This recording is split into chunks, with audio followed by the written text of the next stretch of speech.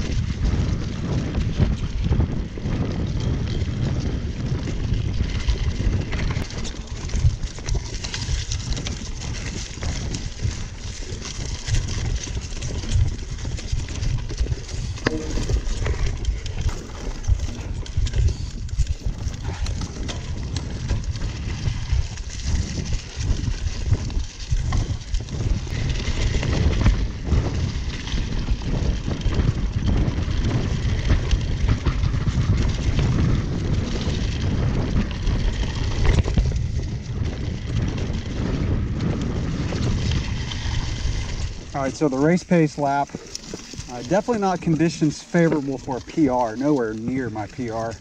I had a 14.19 on that one, and I found the limits to the Mezcal tires. My front end washed out on some leaves about halfway through the lap, and I went careening off the course. And thank God there was not a tree right there. I don't know how I kept it upright, but I did. So uh, yeah, these tires are good, but not as grippy in the leaves as the beefier Nobby Nics that I'll be on tomorrow. Yeah, this one is going to be, like I said, just a kind of a fast, steady uh, trail pace is what I'm gonna call it. I'm just gonna try to maintain a steady effort and try to remember what that effort felt like for tomorrow.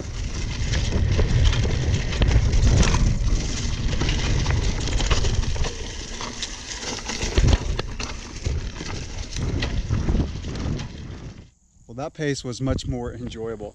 That's probably the pace I would keep on a three or four hour Saturday morning ride when I wanted to ride fairly hard, but keep it steady, not blow up.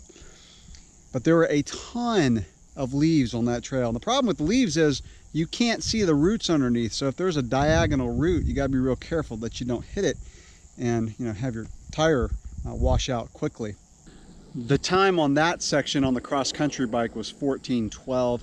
Just because a bike is labeled cross country doesn't mean it can't be fun. The analogy that I like to use is it wouldn't be as much fun driving a Jeep on smooth mountain roads. You'd rather be in a sports car.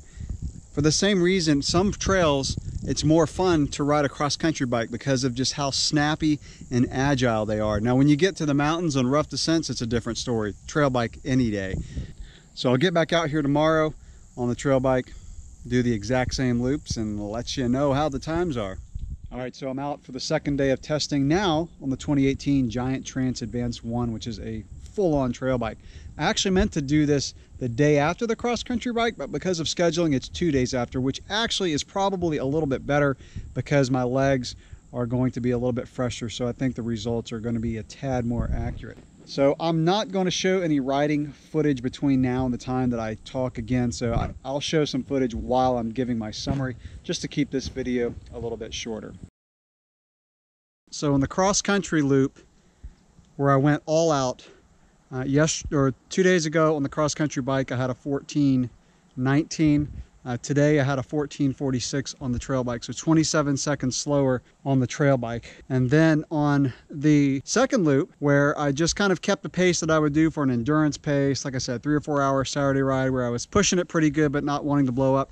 On that loop, I had a 1439 today, uh, which was also 27 seconds slower than the cross country bike two days ago in the same loop. So very consistent in the differences, whether I'm pushing hard or whether I'm going at more of an endurance pace. So the things that I felt like slowed me down a little bit on the trail bike is one, the bike's just a little bit heavier so you can feel it on the climbs. Uh, the Trance is about 27 and a half pounds. The cross country bike's a little over 23 pounds. So about a four and a quarter pound difference between the two bikes. Also at kind of cross country speeds, the front end of the trail bike just kind of wanders around a little bit you feel like you have to take a bigger arc in the corners, whereas the cross-country bike, the steeper geometry, just allows you to kind of cut into the corners. So I felt like that slowed me down a little bit. Also with the bars being wider on the trail bike, so those are 780 wide, which is pretty wide for a trail bike uh, on cross-country trails. The trees are kind of closer to the trails here, so I had to be a little bit more cautious going around corners with the trail bike. So cornering's quicker on the cross-country bike, also acceleration and climbing. So, you know, not earth-shattering news, but I just wanted to see what a pretty high-end trail bike, you know, it's a $5,000 trail bike. It's that's uh, for 150 millimeters of travel, that's a pretty light bike, 27 and a half pounds. And so I was curious, probably about what I expected. So, you know, that's a 14, 15 minute loop. So figure on a cross-country course, uh, every hour, you're probably a minute and a half to two minutes slower on a trail bike. Now, obviously, if you're on a bigger, heavier trail bike, you're going to have uh, more of a gap between the two bikes. And I do want to mention that I did feel more grip on those Nobby Nic tires. So what I might do is, I mean, there are just, there's so many leaves on the trail here, so many that like, there's sections where it's hard to see the trail.